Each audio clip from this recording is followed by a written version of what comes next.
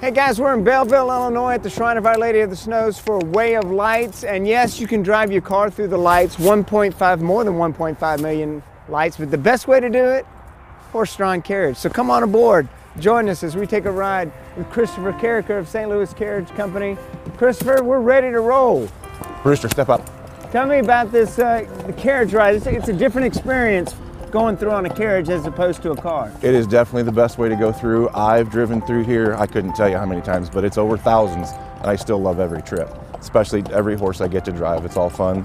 They love it, they're good at it, and they love the cold weather. Everybody thinks that they don't. This is their weather, they're built for it. They're built for it, no doubt. And tell me about the horse that we have today.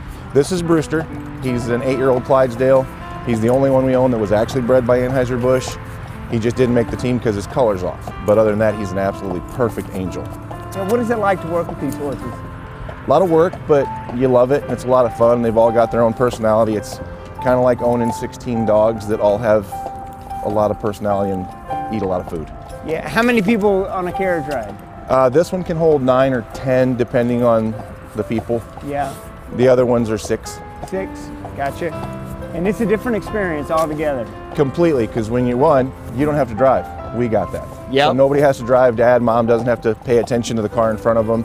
And it's wide open so you can see everything and it doesn't block the obscure your view. It's a better ride. It's a lot of fun. You got blankets for folks. You also let them stay in their cars until they're it's time to, to load, go. right? Yes. That's kind of cool. They appreciate that, I'm sure. Seems to work out. There it is. This is just one of the ways you can enjoy the Way of Lights here in Belleville, Illinois. As we mentioned before, you can drive through.